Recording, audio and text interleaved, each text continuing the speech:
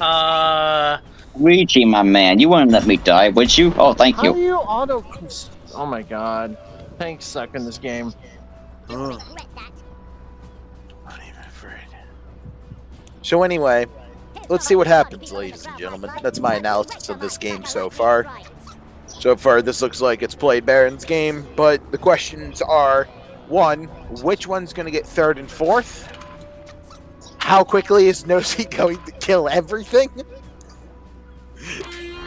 not And too quickly, because Gordon, Lantana Gordon, fucked Gordon. me from the start.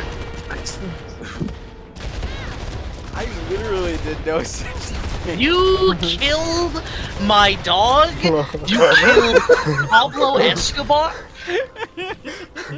You killed more men than you. I No hard brought- feelings, You've just been Luigi. I just had actively to do it to seeking my you. destruction. Shut the fuck up, Lantana Dan.